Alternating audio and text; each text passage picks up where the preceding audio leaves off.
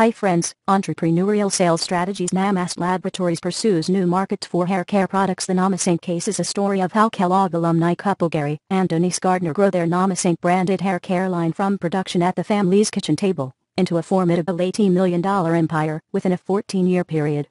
The Gardners come from a long-time hair care business lineage, the Soft Sheen dynasty, started by Gary's father decades earlier. Soft Sheen was ultimately sold to hair care giant L'Oreal for over $100 million. The Gardners claim Namaste's growth occurred through listening to the needs and desires of customers for healing hair care products that reminded them of nourishing household remedies. The hair care line became a leader in its industry, but faced the dilemma of how to expand sales in new markets, especially international markets such as South Africa and Nigeria. TheCaseSolution.com is the number one destination for getting the case study and analyzed. Thanks for watching this video.